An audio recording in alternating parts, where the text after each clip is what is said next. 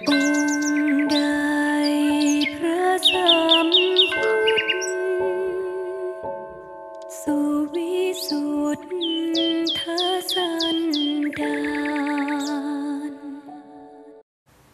ิญสุขสวัสดีท่านผู้ชมทุกท่าน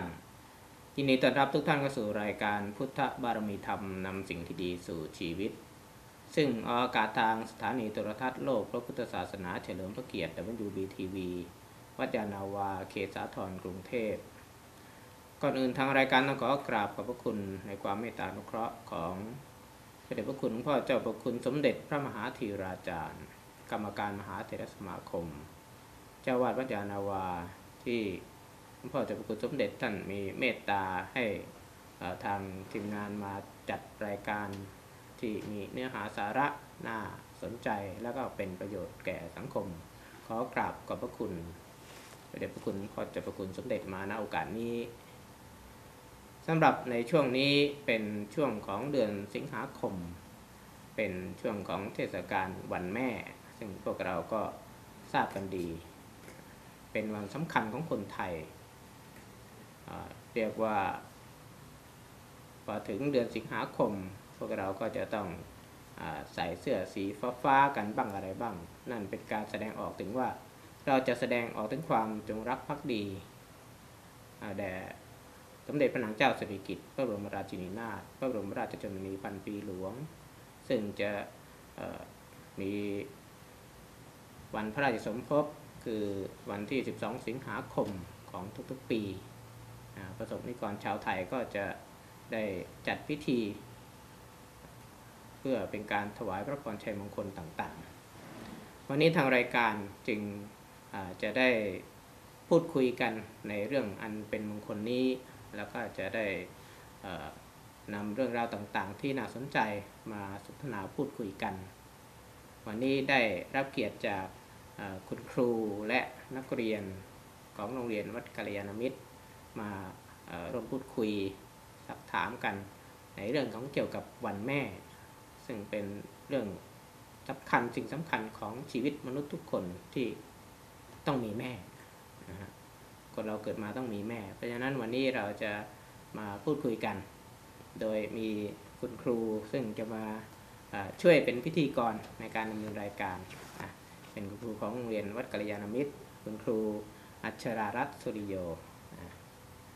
สวัสดีคุณครูคุณครูอ่าช่วยแนะนำตัวเองนิดนึง สวัสดีค่ะ ดิฉันนางสาวอัชรารัตน์สุริโยนะคะ เป็นคุณครูสอนโรงเรียนวัดกัลยาณมิตรนะคะ สอนในสาขาวิชาภาษาไทยค่ะ วันนี้มีโอกาสนะคะ ได้มาร่วมเป็นผู้ช่วยพิธีกรนะคะ กับท่านพระอาจารย์นะคะ เพราะว่าวันนี้เด็กๆนะคะ นักเรียนของโรงเรียนวัดกัลยาณมิตรนะคะ มีโอกาสได้มาร่วมพูดคุยสนทนานะคะ เกี่ยวกับความสำคัญของวันแม่ค่ะ อ่าให้รู้จักเด็ก ๆ กันหอะน่อยเดี๋ยวรู้อะจักเด็กๆ แนะนำตัวค่ะ สวัสดีครับ ผมชื่อเด็กชายปฏิพงษ์เข็มกัดครับ สวัสดีค่ะ หนูชื่อเด็กหญิงนันนิชาลุกาชาติค่ะ อยู่ปไหนครับป .4 ครับปสี่ป .5 ค่ะปห้าใช่ไหมนี่นามสกุลเข็มกลัดใช่ไหมครับ ไม่ได้เป็นอะไรกับ ดาราดังๆนะใช่ไหมครับ สมชายเข็มกลัดไม่ได้ไม่ได้เป็นพี่น้องกันใช่ไหมครับอืมเป็นนามสกุลคุ้นๆนะอ่าวันนี้คุณครูเอ่อจะพานักเรียนเข้ามาคุยเรื่องอะไรยังไงกันบ้างวันนี้ค่ะ วันนี้นะคะทางโรงเรียนของเรานะคะ ก็ได้จัดกิจกรรมค่ะเฉลิมพระชนพรรษาสมเด็จพระนางเจ้าสิริกิติ์พระบรมราชินีนาถบรมราชชนนีพันปีหลวงนะคะ ซึ่งทางโรงเรียนของเรานะคะก็มีกิจกรรมอ่าก็คือเชิญผู้ปกครองค่ะ แล้วก็มีกิจกรรมของนักเรียนนะคะ ซึ่งนักเรียนที่มาในวันนี้นะคะก็เป็นเด็กกิจกรรมนะคะซึ่งมีเอ่อการแสดงค่ะ เป็นการแสดงรำถวายพระพรด้วยค่ะ ก็เลยอยากจะเอ่อพามาพูดใช่คุยค่ะพามาอืพูดคุยค่ะ วันนี้ว่าเป็นยังไงบ้าง กิจกรรมวันแม่วันนี้ที่โรงเรียนค่ะ นักเรียนรู้สึกยังไงบ้างอือฮึอ่าเด็กๆอยู่ที่แถวไหนกันเอ่ยบ้านอยู่แถวไหน อยู่วัดบางไส้ไก่ซอยสามทับห้าครับบ้านบางไส้ไก่อ๋ออยู่ไกลวัดกัลยาเหมือนกันนี่แล้วมาโรงเรียนไงเนี่ย เดี๋ยวพ่อมาส่งครับอ๋อพอมาส่งไม่ได้เดินมาใช่ไหมครับอืมเดินไม่ไหวนะครับไกลนะอืมแล้วหนูอยู่ตรงวัดกัลยาค่ะ ตรงข้ามศาลเจ้าแม่กวนอิมค่ะ อ๋อ อยู่ใกล้โรงเรียนนั่นก็เดินมาได้ใช่ไหมค่ะ อ๋อใกล้ๆอยู่ใกล้ๆแล้วคุณแม่ยังอยู่ไหมอยู่ครับ เหรอแล้วอะอยู่ค่ะ อยู่นะอืมวันแม่ทำอะไรกับแม่มั้งวะหืมวันแม่เนี่ย ที่ผ่านมาเนี่ย ทุก ๆ ปีที่ผ่านมาเนี่ย ถึงวันแม่นี่เราเราทำอะไรพิเศษให้แม่บ้างไหมอาถามปฏิพงศ์ก่อน ไหว้แม่แล้วช่วยแม่ทำงานบ้านต่างๆครับ อ๋อวันแม่นะครับ วันแม่นี่ไหว้แม่แล้วก็ช่วยแม่ทำงานบ้าน ครับแล้ววันที่ไม่ใช่วันแม่นี่ทำอย่างนี้ไหมก็ทำนิดหน่อยครับเอาที่ตัวเองช่วยได้เออเอออันนี้เช่นเช่นทำอะไรบ้างเช่นทำอะไรบ้างล้างจานซักผ้าพับที่นอนตักผ้ารีดผ้าครับ โอ้โหนี่นี่นี่กิจวัตรประจำวันเลยนี่ใช่อันี้ค่ะ อันนี้เป็นหน้าที่เป็นงานของ ต้องทำประจำเลยนะครับโอ้ใช้ได้ แม่สอนให้ทำหรือทำเองเนี่ย แม่รอบแรกแม่รอบแรกเราก็ทำไม่เป็นแม่เราก็สอนให้แล้วเราก็ฝึกฝนเอาเอง อืมแนมาทำเก่งเนี่ยนะนะนะพับที่นอนปูที่นอนต้องทำแบบโรงแรมทำเป็นป่ะ ไม่เป็นไม่เล่นมุกเฉยๆนะพระอาจารย์เล่นมุกเฉยๆนะครับไม่มีอะไรนะอ่าแล้วเอ่ออะไรนะ ชื่ออะไรนะนัทนิชานัทนิชาวันแม่ ทุกๆปีที่ผ่านมาทำอะไร ก็ไหว้แม่พาแม่ไปทำบุญค่ะอ๋อก็ช่วยงานบ้านค่ะอืมไอเอ่อทำบุญแถวไหนอะทำบุญพาไปไหว้หลวงพ่อโตที่วัดกัลยาค่ะ อ๋อพาไปไกลมากเลย แล้วแม่ทำงานอะไรเนี่ย แม่ทำงานอะไร แม่ไม่ได้ทำครับ โอ้แม่แม่มีตังค์นะแม่มีตังค์ไม่ต้องทำงานเฉพาะหน้าร้อนครับ อ๋อเฉพาะหน้าร้อนกับช่วงตรุษจีน อ๋อแล้วเป็นแม่บ้านค่ะแม่ที่วับ้าดนภูค่ะ อืมอะคุณครูถามเขาสิค่ะเอ่อเดี๋ยววันนี้คุณครูอยากจะถามนะคะ ว่า กิจกรรมที่เราผ่านมาเมื่อเช้าช่วงเช้าเนี้ยค่ะเอ่อนักเรียนรู้สึกยังไงบ้าง กับทางโรงเรียนของเราที่จัดกิจกรรมวันแม่ รู้สึก มีความคิดเห็นยังไง ดีไหมหรือว่า ยังไงคะอะให้ให้ปฏิพงศ์ก่อน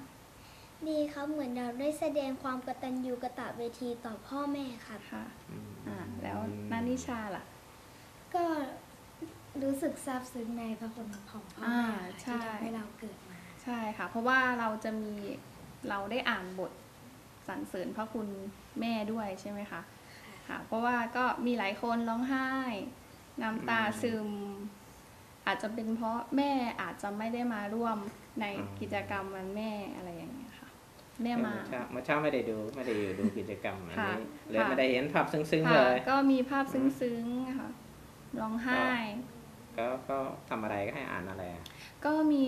อ่านบทสรรเสริญพระคุณแม่ค่ะอืมแล้วก็ให้ไปกราบแม่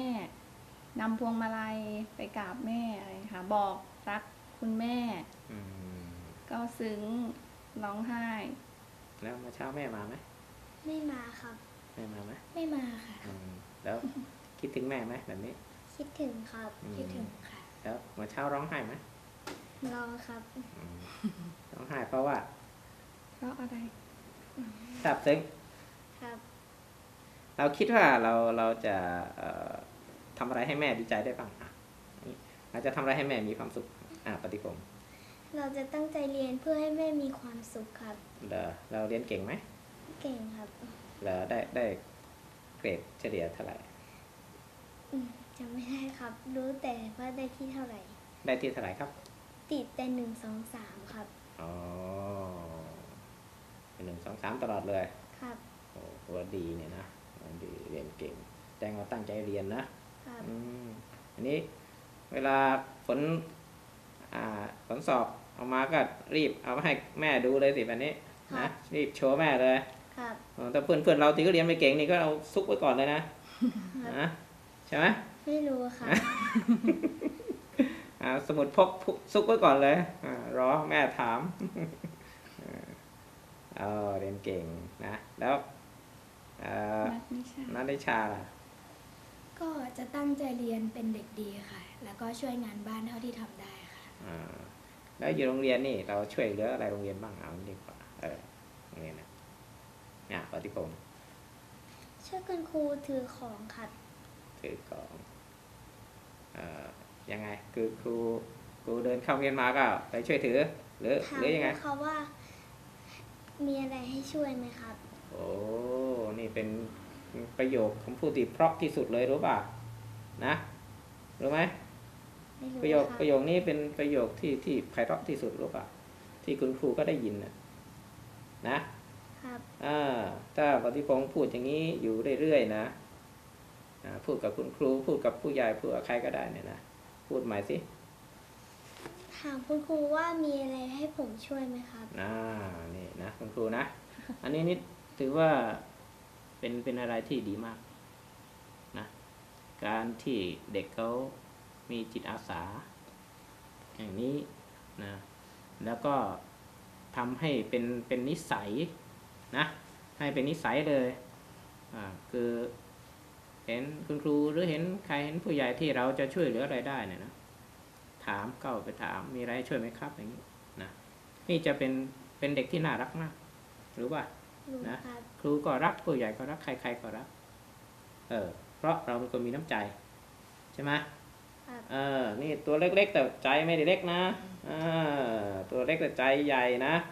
เออ ช่วยเหลือผู้อื่นเนี่ย ใช้ได้ แล้วเอ่ออ่านันทิชาล่ะ ก็ ช่วยมีกิเก็จบกรรมขอะไรยะบ้าง ลานวัด เอ้ยลานโรงเรียนค่ะ แล้วก็สร้างชื่อเสียงให้กับโรงเรียนไปแข่งกิจกรรมต่างเหรอๆค่ะโอ้นี่เก่งกิจกรรมใช่ไหมเก่งกิจกรรมค่ะ ไม่ว่าจะเป็นวิชาการ หรือแม้กระทั่งสิงโตที่ว่าไปแสดสิงงโตน้อยนะใช่ค่ะ สิงโตอืมน้อย แล้วก็มีกองสะบัดชัยด้วยเขาก็ทำหลายอย่าง กิจกรรมวิชาการก็จะมีแข่งทักษะภาษาอังกฤษ ภาษาไทยอะไรอย่างเงี้ยค่ะ ก็เข้าร่วมตลอด อืม แล้วแล้วได้รางวัลอะไรยังไงไหมได้ค่ะ ได้รางวัล ล่าสุดได้ ไปแข่งสะกดคำได้ที่สองค่ะ ตอบค่ะ คำถามได้ที่สามค่ะ ค่ะ อืมอ่าก็นี่ก็ได้รางวัลมาถึงแบบนี้ค่ะ อืมเป็นนักล่ารางวัลนะเป็นนักล่ารางวัลโอ้ ทางวิชาการก็ได้แล้วแล้วทางกิจกรรมการแสดงอะไรต่างๆก็ได้นะ ใช่ค่ะแล้วรำด้วยป่ะเมื่อเช้ารำด้วยป่ะรำด้วยอืมเมื่อเช้ารำถวายพระพรด้วย เดี๋ยวเอารูปมาลงให้ดูนะค่ะเอาลงเอารูปให้เขาตัดต่อในรายการด้วยนะค่ะออกทีวีไปเลยค่ะเออรูปที่รำนะรำสวยป่ะไม่รู้เนี่ยไม่ได้ดูเลยมันจะสวยอ่าเอาเป็นนักกิจกรรมดีค่ะมากเลย แล้วเป็นไงแม่ พอแม่เห็นเราช่วยกิจกรรมโรงเรียนดีอย่างนี้เป็นไงหืมแม่สนับสนุนไหมสนับสนุนคสรันับบสนุนนะอืมไม่ใช่ไหมบอกโอ้ลูกรีบกลับบ้านดิไปทำอะไรเหลือเกินอะไรเงี้ยไม่มีนะแบบนั้นไม่มีนะไม่มีอ่าแม่ต้องให้กำลังใจนะส่งเสริมลูกๆนะ พอเก่งกิจกรรมเนี่ย เราจบ โรงเรียนนี้ไปใช่ไหมพอไป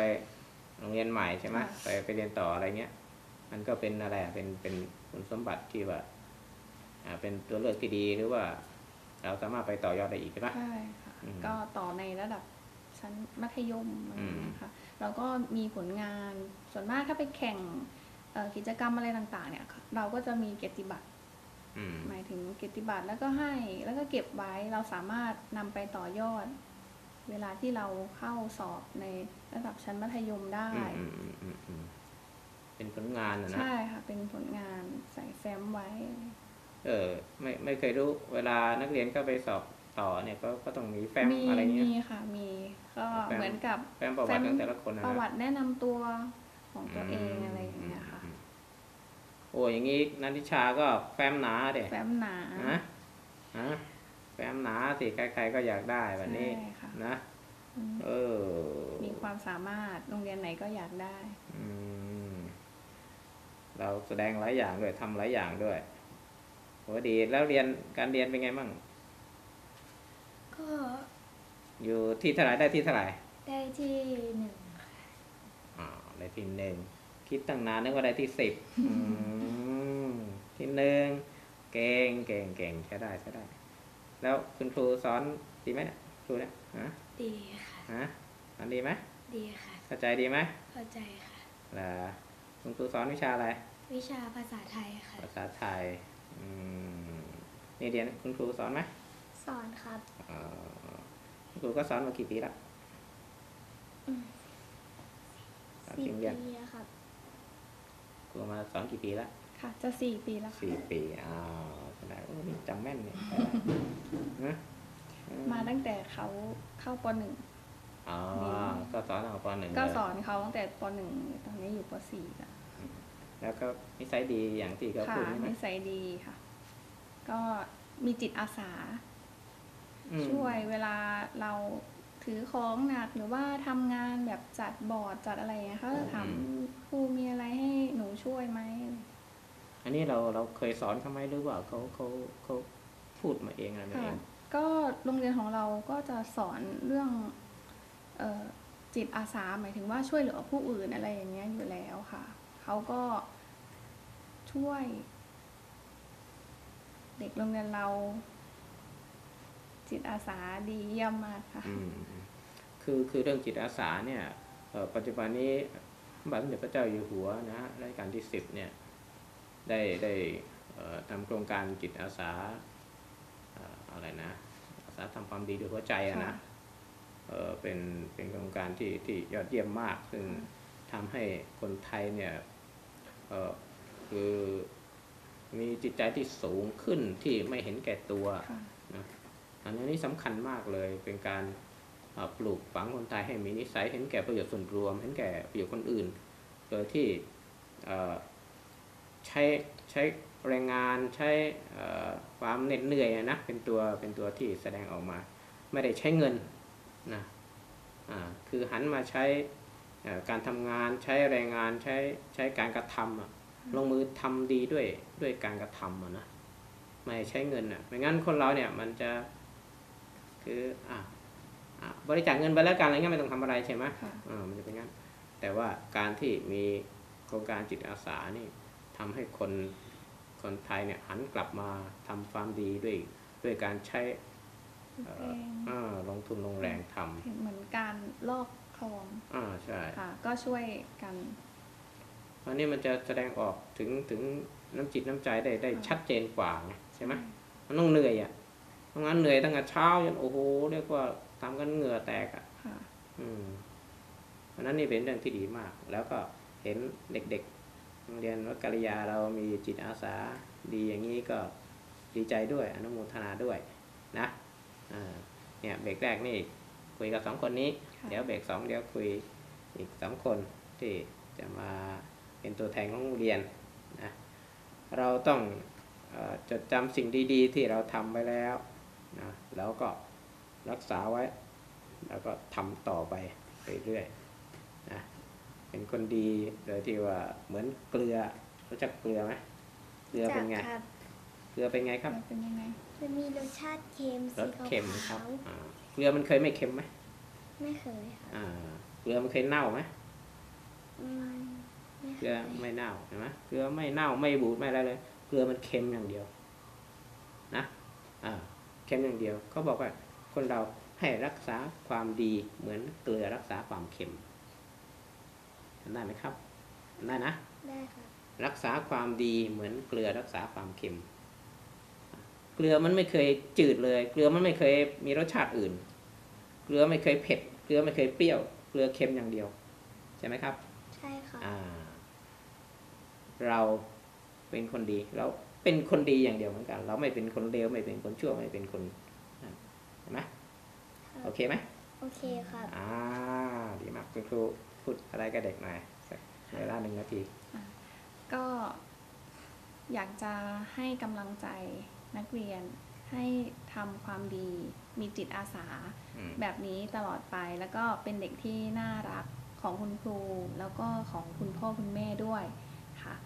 แบบนี้ตลอดไปนะคะ จนโตนะคะ หมายถึงว่าเราก็ถ้าเราโตขึ้น เราก็ต้องดูแล พ่อแม่นะคะเหมือนที่ท่านดูแลเรา ตั้งแต่เล็ก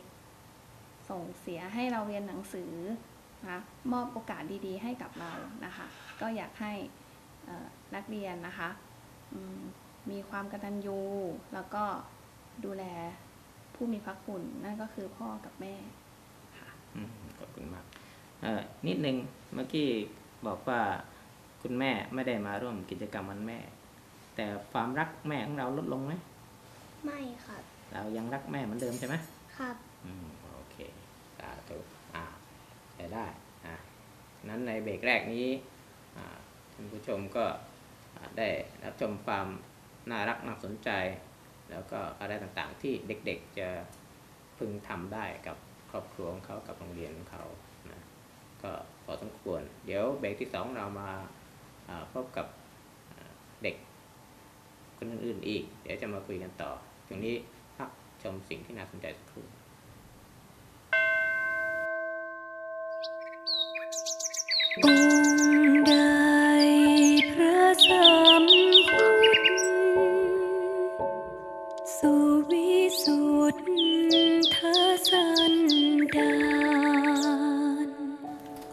กันกับรายการพุทธบารมีธรรมนำสิ่งที่ดีสู่ชีวิตในช่วงที่ 2 ของรายการ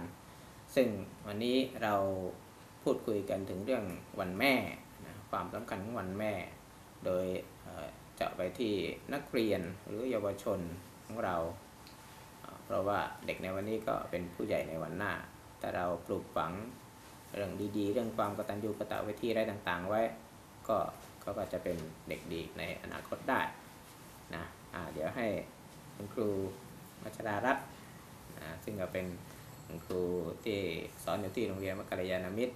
จะได้ช่วยกันพูดคุยสักถามนักเรียนนะอ่าเป็นคุยค่ะ เดี๋ยวให้นักเรียนนะคะ แนะนำตัวอะแนะนำตัวก่อนว่าชื่ออะไรนะคะ บ้านอยู่ที่ไหนอ่าเรียนอยู่ชั้นอะไรอะค่ะแนะนำตัวโรงเรียนอะไรให้ท่านผู้ชมอ่าทราบก่อน อ่าอ่าเริ่มจากสวัสดีครับ ผมชื่อเด็กชายอภิรักษ์โคชาติเรียนอยู่ชั้นประถมศึกษาปีที่ 5 ครับ สวัสดีค่ะ หนูชื่อเด็กหญิงสิริพรบุริคาเรียนอยู่ชั้นประถมศึกษาปีที่สามค่ะค่ะ บ้านอยู่ไหนเอ่ยบ้านอยู่พอดีขาวครับ อะกุดีขาว มีเขาอยู่หลังวัดกัลยาหลังวัดกัลยาอืมมา มาเรียนแบบไหนเนี่ย เดินมา หรือพ่อมาส่งพ่อมาส่งครับมันไม่เดินมา อยู่ใกล้ๆนะไม่อยากเดินครับเดี๋ยวจะน้ำหนักลดเออนี่ต้องออกกำลังกายดิเนี่ยเออหุ่นเราเนี่ยอะเออออกกำลังกายจะได้หุ่นธรรมัดทแมงขึ้นนะหรือชอบใหญ่ๆนะแต่เขาก็เล่นกีฬานะคะเหรอนักนักฟุตซอลเป็นนักฟุตซอลเหรอเล่นค่ะเล่นฟุตซอลอ้า ทีมโรงเรียนว่าใช่ฟุตไหมซอลนี่ต้องค่ะเคลื่อนไหวรวดเร็วนะต้องคล่องอ่านะทีมโรงเรียนด้วยนะคะเหรอมีถ่ายคลิปถ่ายอะไรบ้างปะเนี่ยอยากเห็นอะแต่ตอนเย็นเขาก็ซ้อมหลังจากที่เลิกเรียนเนี่ยก็ซ้อม แต่ก่อนอะจะมีคุณครูเขามาฝึกให้อืมค่ะก็เล่นฟุตซอลเป็นแต่ตัวของโรงเรียนป่ะใช่ค่ะเหรอก็ไปแข่ง แล้วไปแข่งบ้างยังไปแข่งบ้าเหรองแล้วเรา สะกดคำว่าชนะบ้างยังชนะสักทีสะยังกดไหมชนะโรงเรียนอะไรอะบ้านที่สองอ่าได้ที่สองในที่สองอ้าวอ๋อก็แพ้แค่ที่หนึ่งเองนี่ โอ้ก็ชนะก็มาตั้งเยอะนี่ฮะค่ะไม่ธรรมดานี่ เราเป็นเล่นตัวไหนเนี่ยฮะอยู่ตรงอไหนยู่อยู่อยู่อยู่ตำแหน่งไหนเนี่ยฟุตซอลเนี่ย มือโกแน่เลยช่างซ้ายอ๋อที่ไหนข้างนะซ้าย ข้างซ้ายอ๋อข้างซ้ายข้างซ้ายก็ต้องวิ่งกันเลยฮะมันต้องวิ่งไงวิ่งขึ้นวิ่งลงเนี่ยเห็นป่ะเออแล้ววิ่งทันเพื่อนวะเนี่ยดูหุ่นแล้วเนี่ยท่านนะครับทันนะอ่เขาชอบมากเขาชอบเล่นกีฬา ถ้าเลิกเรียนหรือเสาร์อาทิตย์อย่างเงี้ยค่ะ ถ้าคุณครูมาอยู่เวรนะก็จะเห็นใส่ชุดกีฬาสตาร์ทมาแล้วเล่นอืมเล่น แล้วนอกจากฟุตซอลเล่นอะไรอย่างอื่นไหมเปตองครับเปตองโแล้วก็ตะกร้อ โอ้เป็นกีฬาทุกอย่างเลยนี่อ๋อมีน้ำใจนักกีฬา แล้วเราไปแข่งไหมแข่งได้เปตองเนี่ยเปตองเนี่ยเกิดแข่งได้ที่เท่าไหร่บ้างหน้าที่สองได้ได้ที่ที่สองสองแล้วที่หนึ่งไม่เอาบ้างเหรอเราใจดีใช่ไหมให้เขาได้ที่หนึ่งไปนะเรากลัวเขาไม่ดีใจใช่ไหมอ่าเราอยากให้เพื่อนดีใจให้เขาเอาที่หนึ่งไป เราเอาที่สองไม่เป็นไรค่ะเป็นคนมีน้ำใจ แล้วอะไร แล้วก็มีเอ่อตะกร้อเหรอ ตะกร้อตะกร้อแต่ว่าตะกร้อนี่ มีแข่งวะได้แข่งไหมเลิกแข่งเหรอแข่งแล้วเราอยู่ศูนย์หน้าปะตัวฟาดปะตะกร้อฮะเล่นเล่นทุกอย่างเล่นเซปักตะกร้อนะใช่โอ้โหแล้วโดดฟาดไหวไหมโดดฟาดหน้าเน็ตอะฮะทำได้ปะทำได้ไหมยังไม่ได้ยังไม่ได้ อ๋อโดดแล้วโดดเหยียบได้ไหมเดี๋ยวกระโดดเหยียบอ๋อไม่ได้ได้เพราะเอ้าว่าก็ต้องเล่นตะกร้อวงกันสิแบบนี้หืมเล่นตะกร้อหืมที่เขาแบบเล่นเป็นเน็ตอ่า เป็นเน็ตก็อ่าเน็ตก็ตะกร้อเซปักตะกร้อ เซปักอ่าตะกร้อถ้าตะกร้อวงก็มีมีมีเอ่ออ่าตะข่ายใช่ไหมมีเอ๊ะอะไรนะมีห่วงอ่าก็รอดห่วงอะ ค่ะแล้วก็เป็นสมาชิกเอ่อสิงโตด้วยถึงตัวนี้เล่นอะไร เล่นเป็นอะไรอะมือกลองครับมือกลองตีกลโอ้องอะค่ะงั้นนึกออกแล้ว โอ้โห สุดยอด อ่าค่ะเดี๋ยวเดี๋ยวต้องเอาคลิปมาให้ดู ค่ะนะ มีมี อ๋อกลองนี่ โอ้โหตีกลอง รัวสุดยอดเลย นะตีเหมือนแบบผู้ใหญ่ตีอะค่ะนะใช่ค่ะ เออไปฝึกมาจากไหนตีกลองเนี่ย ตีกลองสิงโตอะมี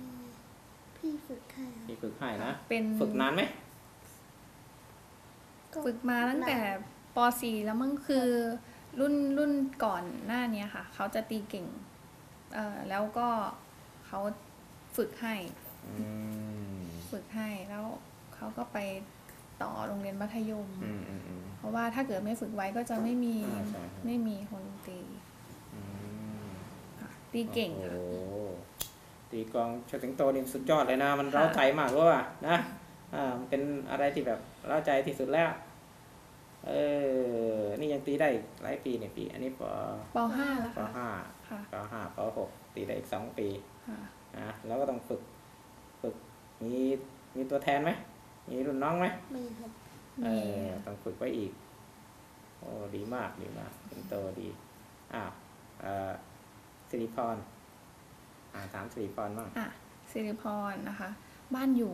แถวไหนคะ อยู่แถววัดหงส์ค่ะ วัดหงส์วัดหงส์รัตนารามวัดหงส์รัตนารามตรงข้ามสะพานอืมเอ่อมาโรงเรียนยังไงหนูนั่งวินมอไซค์มาค่ะ ค่ะแล้วตอนกลับก็ตอนกลับถ้ามีตังค์ก็นั่งวิน แต่ถ้าไม่มีก็เดินกลับ อืมแต่ก็ไม่ไกลค่ะ ไม่ไกล แล้วเราเคยเอ่อสร้างชื่อเสียงอะไรให้กับโรงเรียนบ้างล่าสุดหนูไปแข่งทุ่มน้ำหนักได้อ่าที่สามระดับกทมค่ะค่ะ แข่งไงนะ ทุ่มน้ำหนักอ๋อทุ่มน้ำหนักได้ที่สามเหรียญทองแดง ระดับกรุงเทพมหานครค่ะก็คือโรงเรียนตั้งกัดกรุงเทพมหานครแข่งกันทั้งหมดใช่ค่ะมีได้ที่400สามกว่ใช่ค่ะเออมีกี่โรงเรียนสิสี่ร้อยสี่ร้อยกว่าโรงเรียนค่ะแล้วได้ที่สามค่ะอายยาไม่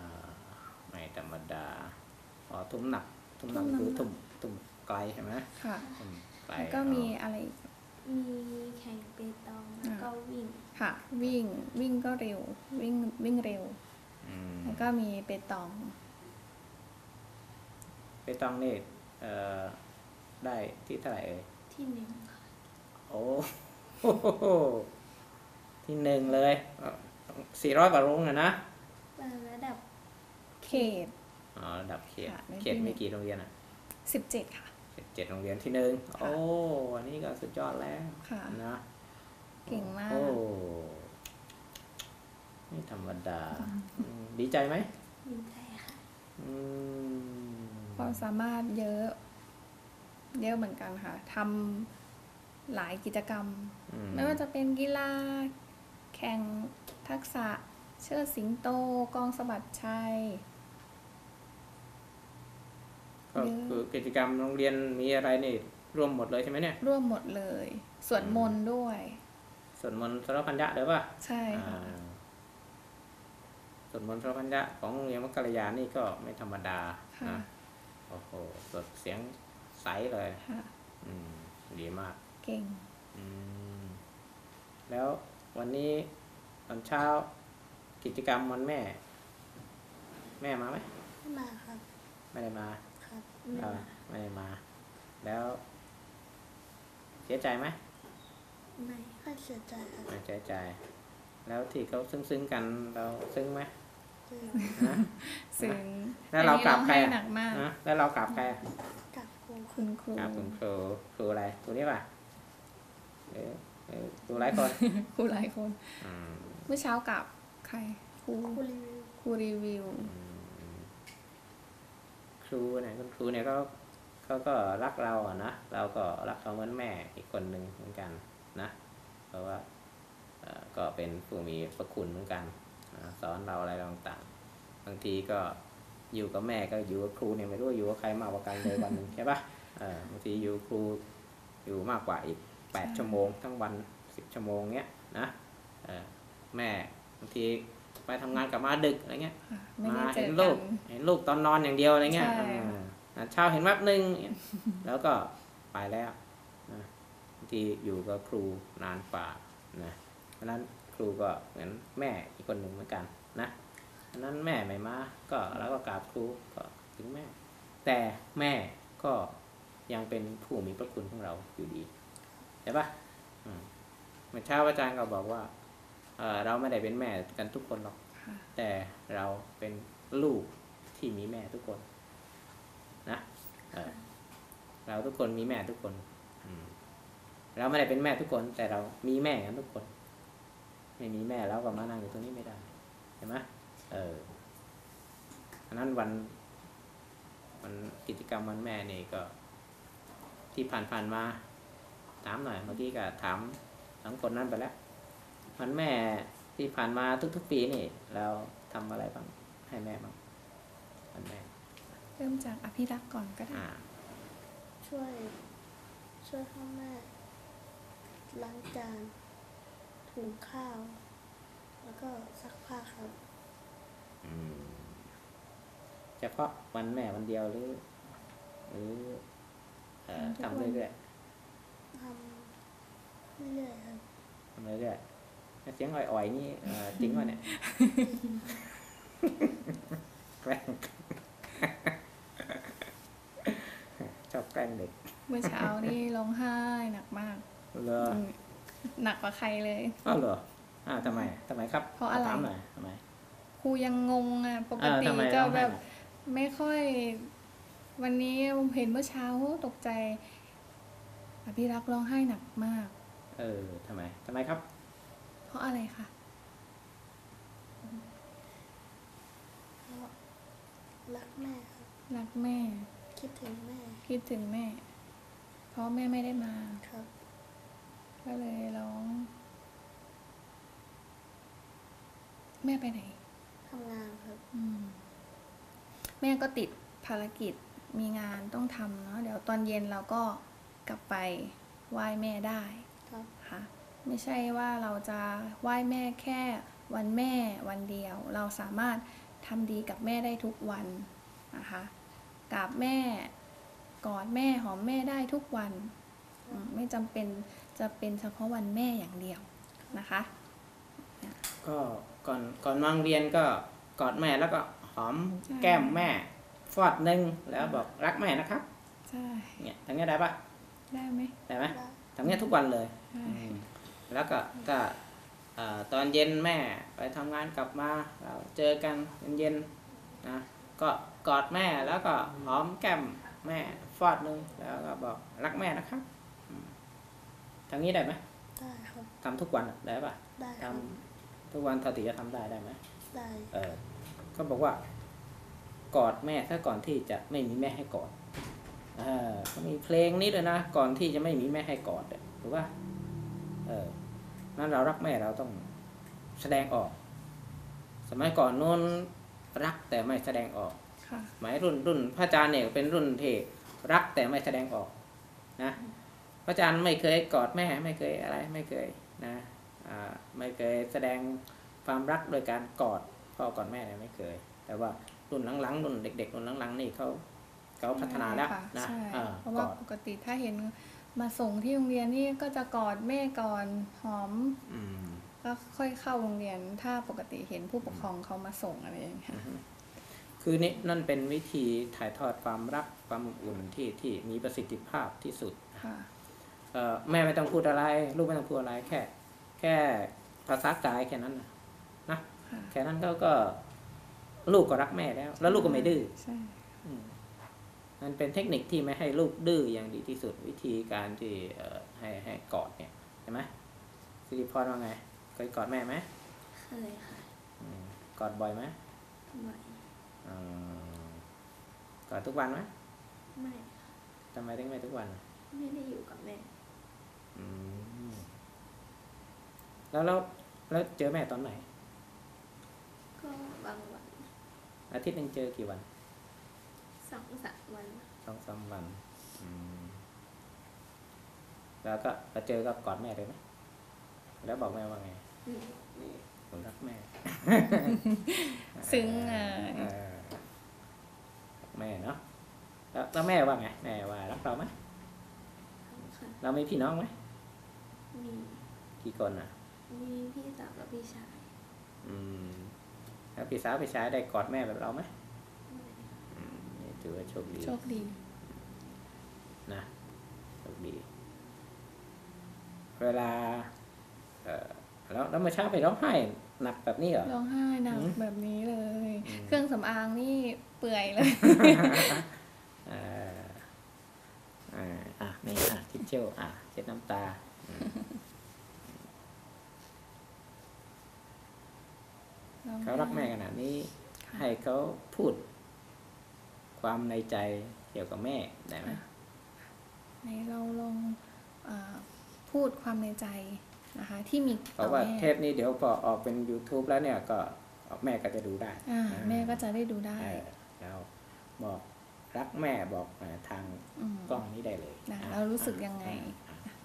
ให้อภิรักษ์ก่อนอะพี่รักก่อนรู้สึกยังไงบอกเลยลูกรู้สึก รู้สึกรักแม่ครับ คิดถึงแม่อืมแล้วก็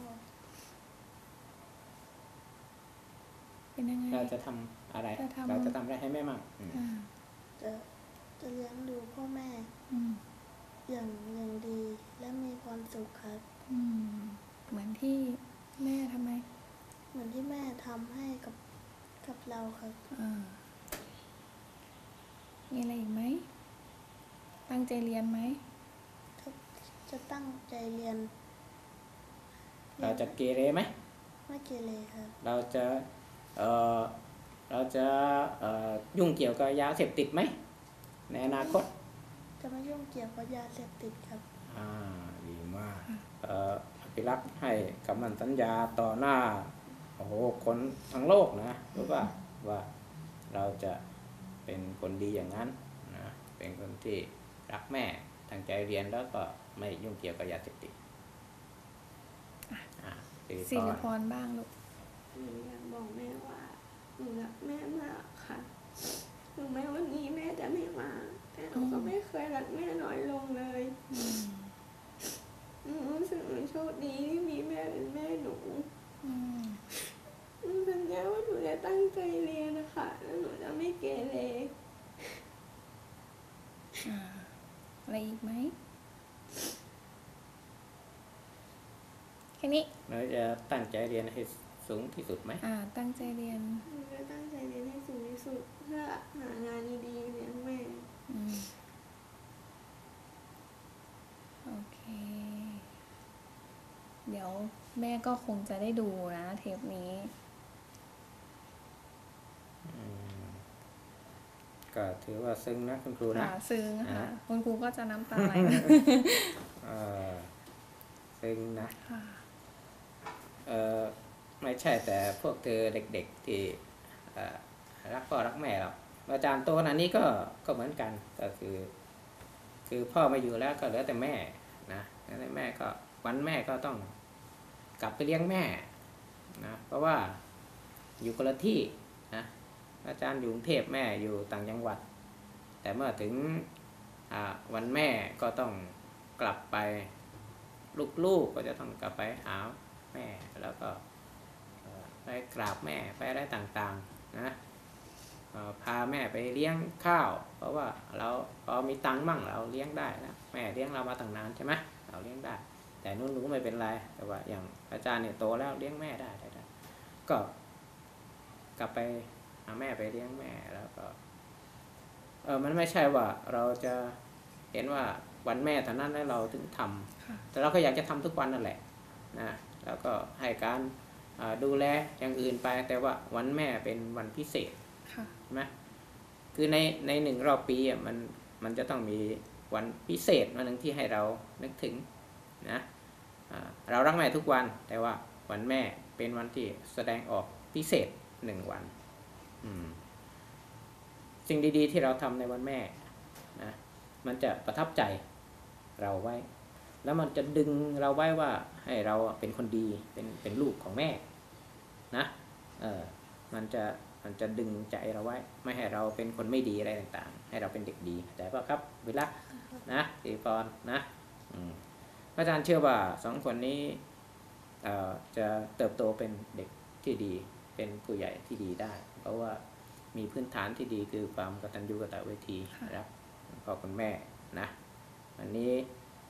อ่ออาจารย์ก็เข้าใจแล้วก็มีความซาบซึ้งไปด้วยที่หนูหนูๆแสดงออกความรักแม่จริงใจอย่างนี้นะอ่าคือเด็กเขาซื่อบริสุทธิ์นะค่ะเขาคิดยังไงรู้สึกไงก็อย่างนั้นใช่เขาซึ้งใจก็ก็ร้องไห้ก็อะไรต่างๆธรรมดาถือว่าเป็นเรื่องที่เอ่อบริสุทธิ์ของของเด็กๆนะนั่นวันนี้เป็นใดที่ ส่งท้ายด้วยความประทับใจท่านผู้ชมทุกท่านนะฮะเอ่อที่ก็ร้องไห้นี่ไม่ได้เตรียมมาว่าให้หนูร้องไห้นะเออนะเป็นอะไรที่เอ่อพระอาจารย์ก็เข็มขัดสั้นเหมือนกัน คือคาดไม่ถึงอะนะว่าอ่าจะมีแขกรับเชิญมาร้องไห้ในรายการสดๆอย่างนี้นะอ่าคุณครูส่งท้ายให้นิดนึงค่ะ ก็คุณครูก็อยากจะ ให้กำลังใจนะคะ ให้กำลังใจทั้งสองคนเลยนะคะว่าถึงแม้ว่าแม่เราจะไม่มานะคะในวันนี้ แต่ก็เหมือนที่คุณครูบอกอภิรักษ์ไปว่า เราก็สามารถกลับไปไหว้แม่ได้กลับไปซื้อพวงมาลัยนะคะ ให้แม่กอดแม่หอมแม่ได้นะคะ ได้ในทุกๆวันเลยนะคะ เราสามารถ เป็นเด็กดี เป็นคนดีให้คุณแม่ภูมิใจได้ ตั้งใจเรียนหนังสือ เป็นคนดีของสังคมด้วยนะคะอ่าโอเคค่ะขอบคุณคุณครูค่ะครูอัชรารัตน์สุริโยครูสอนภาษาไทยโรงเรียนกัลยาณมิตรที่ได้มาช่วยเป็นวิธีกรในการช่วยกันพูดคุยสนทนากับเด็กๆ ที่เขามีความกตัญญูมีความน่ารักในวันนี้ แล้วก็เราก็ได้ประทับใจนะกับความรักของเด็กๆที่เขามีต่อคุณพ่อคุณแม่เขา ซึ่งความรักแม่นั้นก็เป็นเรื่องอมตะอยู่แล้วนะฮะเป็นเรียกว่าแม่นั้นก็มีความรักที่อมตะต่อลูก เขาบอกว่าแม่นั้นมีลักษณะคืออุ้มไม่หนัก เหนื่อยไม่พัก รักไม่ลวงห่วงไม่หาย จ่ายไม่คิดผิดไม่แค้น แล้วก็ตายแทนลูกได้ นี่คืออคุณสมบัติของคนที่เป็นแม่คนจะต้องมีคุณสมบัติอย่างที่ว่ามานี้ วันนี้ทางรายการต้องขออนุโมทนาขอบคุณคุณครูอัชรารัตน์สุริโย และก็เด็กๆ ทั้งสองคนโรงเรียนวกัลยาณมิตรที่ได้มาแสดงออกถึงความรักความกตัญญูเนื่องในวันแม่ ขอให้ ทุกคนมีความสุขความเจริญที่ยิ่งขึ้นไป แล้วก็ขอให้ท่านผู้ชมทุกท่านได้มีความสุขความเจริญมีสุขภาพแข็งแรง แล้วก็รักแม่มาก ๆ ก็แล้วกัน วันนี้รายการหมดเวลาลงแล้วขอลาท่านผู้ชมทุกท่านไปเพียงเท่านี้แล้วพบกันใหม่ในวันต่อไปขอเจริญพร